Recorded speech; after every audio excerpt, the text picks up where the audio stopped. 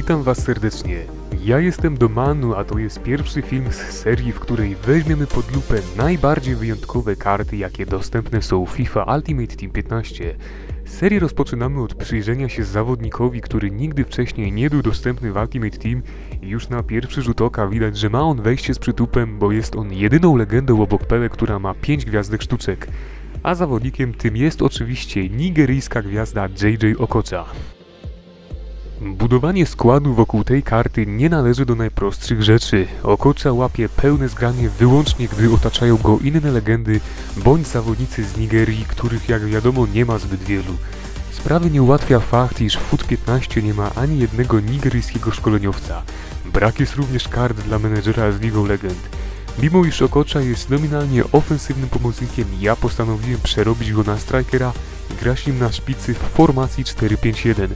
Dzięki temu JJ ma maksymalne zgranie i jest ciągle w centrum wydarzeń na boisku.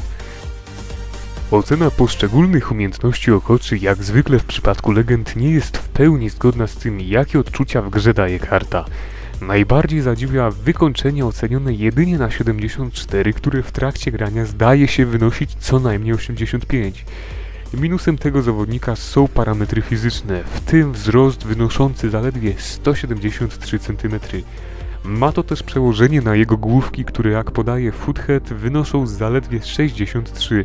Pozostałe statystyki wyglądają jak na legendę przystało i szczególnym plusem jest tutaj dribbling udoskonalony o 5 gwiazdek sztuczek oraz fakt, iż JJ ma znacznie większe przyspieszenie od szybkości biegu, co sprawia, iż zdaje się on mieć 90 tempa, a nie jak podaje statystyka na karcie 84.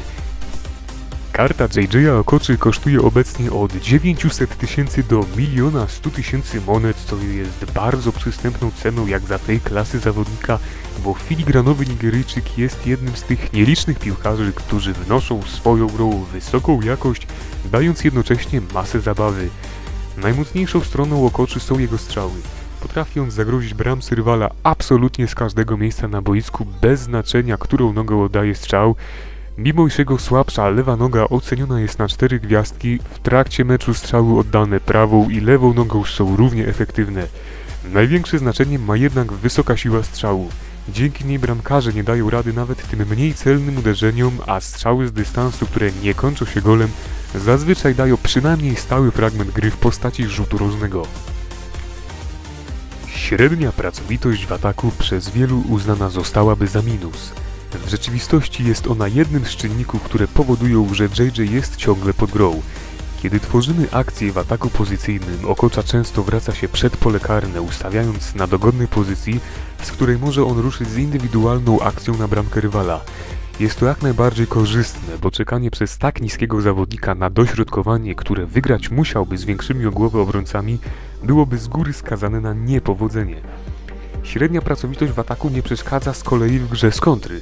JJ dochodzi do prostopadłych podań bez większego problemu i nie daje się przy tym złapać w pułapkę offside'ową. Okocza znany jest w piłkarskim świecie z niesamowitego driblingu, podczas którego wykonywał niejednokrotnie niebanalne sztuczki z piłką. Tak samo rzecz ma się w Ultimate Team. Kiwanie tym zawodnikiem jest łatwe, efektowne i co najważniejsze, skuteczne. Jedynym minusem w tym aspekcie są słabe parametry fizyczne. Nigeryjczyk nie ma większych szans w walce bark w bark ze środkowymi obrońcami, a wygrać pojedynek główkowy potrafi wyłącznie po ówczesnym oderwaniu się od stopera. Większość starć fizycznych JJ'a z obrońcami kończy się jego upadkiem, ale sędzia często uznaje to jako faul rywala, dzięki czemu wywalcza on masę rzutów karnych i wolnych dla naszej drużyny, które potem regularnie zamienia na gole.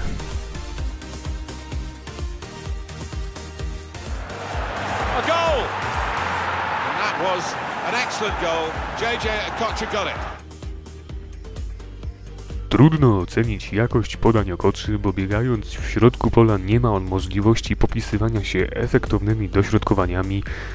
Co do krótkich podań czy też podań prostopadłych, są one po prostu dobre i skuteczna gra z pierwszej piłki nie jest dla Nigeryjczyka żadnym problemem.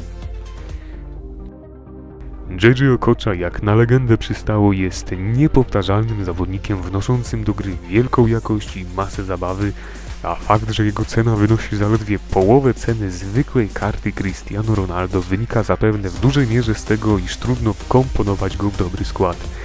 Każdemu, kto ma Xboxa i trochę modet na swoim klubowym koncie, polecam przetestowanie tego zawodnika.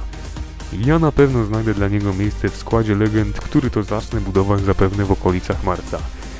JJ Okocza dostaje ode mnie ocenę 9,5 na 10. Jeżeli podobał Ci się ten film i chcesz poznać z bliska więcej wyjątkowych kart oraz poszerzać swoją wiedzę na temat Ultimate Team, subskrybuj nasz kanał oraz polub fanpage Kartomani na Facebooku. Do zobaczenia w kolejnym filmiku.